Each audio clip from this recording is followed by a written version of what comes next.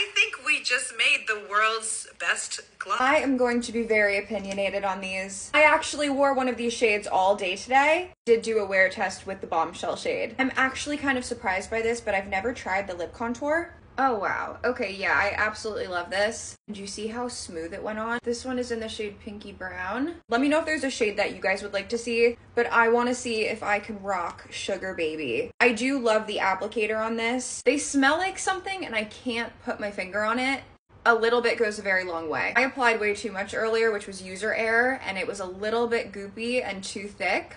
But if you just do a light coat like I am right now, oh my gosh, that's stunning. That is hands down like one of the most beautiful lip combos I have ever put on my lips. I see why these are called faux filler, and it's amazing to me that there's no plumping in this at all.